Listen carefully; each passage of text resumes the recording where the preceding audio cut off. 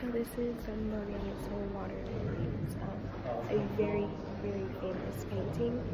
It's a lot bigger than I expected, honestly. So very beautiful, very, very, very time consuming. Um, it is actually a little replica of his outside studio, so obviously it's very important to him because he was really like this is he's this well-known painter that we all we all have heard of him. It was done in 1960 in Paris, France, in his home. Um, it is, like I said, a replica of the water lilies floating outside in his pond.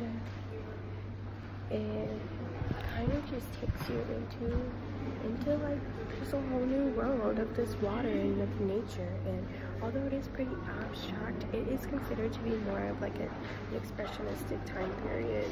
Um, it's done oily canvas uh, this giant canvas with oil paintings and you can see the texture of it. Um, so this was like a really big really big part of his life and it just gives you kind of some insight into into how he lived and what he did